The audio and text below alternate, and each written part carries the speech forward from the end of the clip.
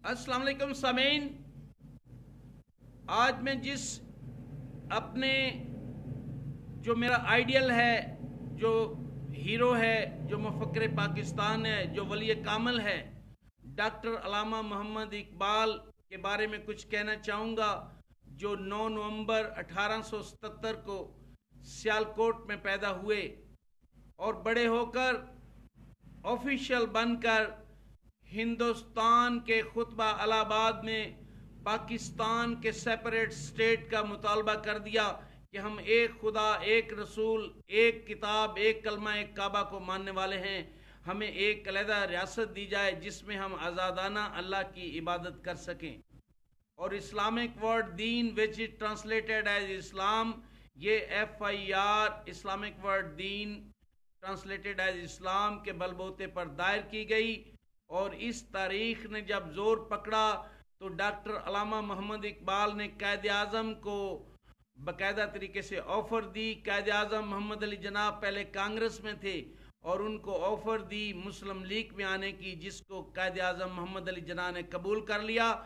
Work day and night, दिन रात की अनथक मेहनत के बाद उन्होंने बाकायदा तरीके से डॉक्टर अलामा मोहम्मद इकबाल के जो ख्वाब था, उसको अमली जामा पहना दिया। और 14 अगस्त उन्नीस को मिंटो पार्क, लाहौर में यह ऐलान कर दिया कि आज हमने पाकिस्तान हासिल कर लिया है। अब मैं वली कामिल की तरफ़ आऊँगा कि डॉक्टर अलामा मोहम्मद इकबाल को वली कामिल भी कहते हैं। जब बचपन में थे तो पीरों, फ़कीरों ने जब हाथ देखा जिस तरीके से हजूर पाक सल्लल्लाहु अलैहि वसल्लम जब अपने चचा के साथ तिजारत करने जा रहे थे तो रास्ते में उन्होंने जब उनका हाथ दिखाया तो उन्होंने कहा, इसमें नबूत की नबूत की निशानियाँ पाई जाती हैं। तो उन्होंने उन्हें वापस कर दिया, ताकि कुफार उनको नुकसान न पहुंचाएँ। इसी तरीके से जो बुज़ुर्गों ने उनकी उनकी वली कामल की निशानदेही की, जो उनके जो उनकी बुजुर्गी की निशानदेही की, जो उन्होंने बाकायदा तरीके से जो जब ऑफिशियल थे, उन्होंने गाजी इलमदीन शहीद के मुकदमे के लिए भी कायद अजम को वलायत से बुलाया। कैद अजम ने गाजी इलमदीन शहीद को कहा कि तुम एक बार कह दो कि तुमने कत्ल नहीं किया, ये तुम्हें फांसी दे ही नहीं सकते। उसने कहा, नहीं, मैंने कत्ल किया है, यही एक जो मैंने कमाया है मैं आश के रसूल हूँ, मैंने कत्ल किया है। तो डॉक्टर अलामा मोहम्मद इकबाल ने मना कर दिया कि इसको कोई रुतबा बड़ा मिलने वाला है। इस, उस पैरवी से मना कर दिया। और यहाँ साहिवाल में उसके हंगामे होते थे। यहाँ उसको फांसी देने के लिए हड़तालें, हंगामे, जुलूस निकलते थे। और उन्होंने उसको मियाँ वाली में जाके जो है फांसी दी। गाजी अलमदीन शहीद ने उस लाजपाल को कत्ल किया क्योंकि वो हजूर पाक सल्लल्लाहु अलैहि वसल्लम पर उनकी किताब लिख रहा था, रंगीला रसूल। तो उसने उसको कत्ल किया। इसी तरीके से डॉक्टर अलामा मोहम्मद इकबाल, उस, उनके जो मुलाजिम हैं, उन्होंने हकायत में एक कहानी शाया करवाई है कि जब डॉक्टर अलामा मोहम्मद इकबाल रात को पढ़ते थे तो मैं बाकायदा तरीके से उनके, जब तक वो जागते थे, उन, उनको चाय, पानी, उनका ख्याल रखता था। तो एक दफ़ा एक बुज़ुर्ग आए, सफ़ेद दाढ़ी थी, सफ़ेद लिबास तो वो डॉक्टर अलामा मोहम्मद इकबाल के पास राजो न्याज की बातें कर रहे थे तो बुज़ुर्गों ने कहा कि लस्सी पीनी है। ओ के दिन थे, हाथ को हाथ नहीं लगता था, ठंड थी। तो डॉक्टर अलामा मोहम्मद इकबाल ने मुझे कहा कि जाओ, लस्सी ले आओ। मैंने कहा, डॉक्टर साहब, उनका कोई आगमन नहीं, पैसे ले जाओ, लस्सी ले आओ। मैं चौंक में गया तो वहाँ लोग भी ले जा रहे थे रेडी लगी हुई थी। मैं भी लस्सी लाया, बुज़ुर्गों ने पी, इकबाल ने पी, मैंने भी थोड़ी सी पी ली। और जब वो बुज़ुर्ग चले गए तो मैंने इकबाल से पूछा, जनाब, डॉक्टर साहब, ये कौन थे बुज़ुर्ग? तो उन्होंने कहा, ये दाता गंज बख्श हजवेरी थे, रहमतुल्लाह तो वो लस्सी वाला कौन था? तो उन्होंने कहा, वो शाह शमश तबरेज था। जब अल्लाह के बंदे आकर कोई डिमांड करते हैं तो उनकी डिमांड को पूरा किया जाता है। ये वही दाता गंज बख्श अजवेरी रहमतुल्लाह जिनके दर पे ख्वाजा मयुद्दीन चिश्ती ने चिल्ला किया। उनके वहाँ बाहर लिखा हुआ है कि, मेरे बंदे मेरे मुनज़म हैं, कायनात चलाने में मेरी मदद करते हैं। तो इस तरीके से जो डॉक्टर अलामा मोहम्मद इकबाल थे उनका वलियों के साथ उठना, बैठना था। वो ऑफिशियल थे। उनसे जो भी काम लिया गया, जो भी अल्लाह ताला की ज़ात ने जब जिससे जो काम लेना होता है, उसके स्पुद कर दिया जाता है। और फिर जब मैं पिछले दिनों इस्लामाबाद गया हूँ संतोष में वो म्यूज़ियम देखा, जिसमें डॉक्टर अलामा मोहम्मद इकबाल, कायद आज़म तकरीरें करते हुए जो जंग आज़ादी की झलकियाँ नज़र आई, वहाँ पे और ईमान ताज़ा हो गया। मैं एक दफ़ा कराची म्यूज़ियम, नेशनल म्यूज़ियम में गया जो मुस्लिम लॉ कॉलेज के सामने है। तो जब इंट्रेंस में ही डॉक्टर लामा मोहम्मद इकबाल का एक कोट लटका हुआ था, जिसके तीन बटन थे और ऊपर वाला सफ़ेद था, दरमियान में हरा था और उसके नीचे सफ़ेद था।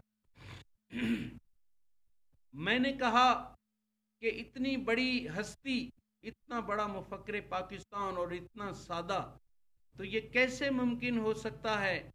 तो बकायदा मेरे जहन में डॉक्टर हारून रशीद की कहानी आ गई, जब उसने अपनी बेगम को कहा कि ये जो बहलोल ने तीस तोले का जो हार तुमसे लेकर जन्नत का घर बनाया है, तुमने गैर ज़िम्मेदारी का सबूत दिया है। तो रात को अल्लाह ताला की ज़ात ने उसको दिखा दिया कि जन्नत में उसका घर बना हुआ बार बल्कि इसकी तख्ती लगी हुई है। वो अंदर जाना चाहता है, दरबार ने कहा, चलो, ये तुम्हारा नहीं है। वो दुनिया में तुम्हारी बीवी थी। तो वो जब उसकी आँख खुली तो हज़रत बल्किस ने कहा कि तुम फ़िक्र न करो, आज मैं बहलोल से तुम्हारी भी बात करूँगी। तो उसने फिर तीस तोले का एक हार लिया और जब गई तो वो आवाज़ लगा रहा था, जन्नत में घर बना लो। तो उसने कहा, ये एक मेरे खामंद का भी घर बना दो। तो उसने कहा, रात को देख के आ गया है और आज ये घर बनाने आ गया है, कल बनवाता, ये अनडिठा सौदा है। तो उसने कहा, अब ये आधी बादशाही दे तब बनाऊँगा। ना उसने आधी बादशाही दी, ना जन्नत में घर बना। इसी तरीके से मैंने देखा, मैंने कहा, ये इकबाल ने किस तरह ये तीन बटन किस तरह लगाए होंगे? तो मैं लाहौर गया तो वहाँ किले के सामने मेरी लड़ाई हो गई। मुझे आज तक पता नहीं चला कि वो लड़ाई क्यों हुई। तो उसने मेरे बटन तोड़ दिए। जब मेरे बटन टूटे, मैं जहाँ डॉक्टर लामा मोहम्मद इकबाल का मिज़ार है बाहर निकला तो एक कोने में दुकान थी, मैंने कहा, भाई, तुम्हारे पास बटन है? कहता जी हैं, कितने चाहिए? मैंने कहा, तीन. कहने लगा, जी, दो वाइट हैं और एक हरा बटन है। कहो तो दे दूँ? मैंने कहा, जी, तीनों बटन भी दे दो और एक सुई और एक नलकी भी दे दो। मैंने वहाँ बैठ के वो बटन टांग। के मुझे भी दिखाया गया कि इस तरीके से डॉक्टर लामा मोहम्मद इकबाल ने वो बटन लगाए होंगे। कितनी सादगी होगी उनमें। एक सादा साइड पोज है थोड़ी पे हाथ रखा हुआ है। वो देख रहे हैं कि अफसोस, सद अफसोस के शाही न बना तू, समझे न तेरी आँख ने फितरत के इशारात कि मैंने कैसे कैसे नुस्खे दिए इस कौम को, लेकिन उसने इग्नोर कर दिए। अगर कुतुबों पे लिख देता मुर्दों के तो वो उठ के बैठ जाते। तो वहाँ मैंने देखा, ऊपर एक बड़ी खूबसूरत लड़की खड़ी थी। मुझे डॉक्टर लामा मोहम्मद इकबाल की एक बात याद आ गई। कि वो लड़की कहती है, डॉक्टर साहब इधर उधर देख रहे थे तो वो कह रहे, जो इधर देखते हैं, जो उधर देखते हैं, वो अपना सर कलम देखते हैं। तो वो शायर मशरक था, उसने जवाब दिया, ना हम इधर देखते हैं, ना हम उधर देखते हैं, हम तो उस मुसवर का कलम देखते हैं। डॉक्टर लामा मोहम्मद इकबाल को आम बहुत पसंद थे। हमारे यहाँ बाबा फरीद के पास एक औरत आई, उसने कहा कि, फरीदन, ये शक्कर बहुत खाता है, इसको मना कर दो। उसने कहा, कल लाना।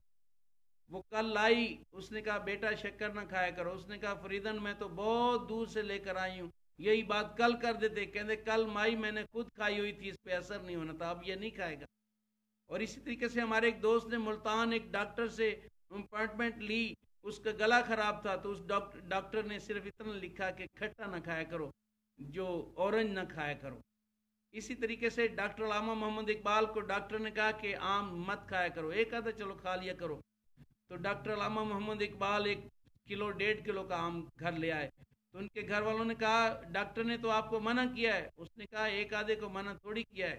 तो उनका, आप डेढ़ किलो का आम ले आए। तो डॉक्टर लामा मोहम्मद इकबाल जो थे, वो वली कामल थे। उन्होंने बाकायदा तरीके से अपनी शायरी से, नहीं तेरा नशेमन कसरे सुल्तानी के गुंबद पर, तू शाही है बसेरा कर पहाड़ों की चट्टानों पर। वो जब तक ज़िंदा रहे ऑफिशियल ड्यूटीज़ बखूबी निभाते रहे। वो जब वली ज़ाहिर हो जाता है तो उसकी तरक्की रुक जाती है। जिस तरह चौदहवीं का चाँद मुकम्मल होकर कम होना शुरू हो जाता है। लेकिन वो ज़ाहिर ही नहीं हुए। आखिर वो वक्त आन पहुँचा, जब वो इस दुनिया फ़ानी से कूच कर गए, अपने खाल के हकीकी से जा मिले। 21 अप्रैल 1938 को डॉक्टर अलामा मोहम्मद इकबाल हमसे जुदा हो गए। अल्लाह ताला की ज़ात उनको, जो आठ जन्नतें उनमें सबसे ऊपर जो जन्नत है, जो आला जन्नत है, उसमें जगह दे। डॉक्टर अलामा मोहम्मद इकबाल जो है, आज भी उनकी जवेद नामा बांगे दराज, बाल जब्राइल, शिकवा, जवाब शिकवा, वो तो मौजूद हैं ही हैं। उनके बेटे जवेद इकबाल भी मौजूद हैं। बेटा बाप का दूसरा जन्म होता है। कभी मौका मिला तो मैं तुम इतकाफ में बैठ के खुदा को याद करो। हम जवेद इकबाल से मिल के डॉक्टर अलामा मोहम्मद इकबाल से मिलेंगे।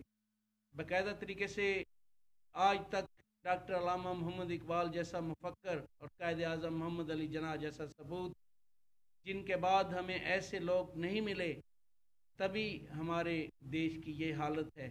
अल्लाह ताला की ज़ात उनको अपने जवार रहमत में जगह दे।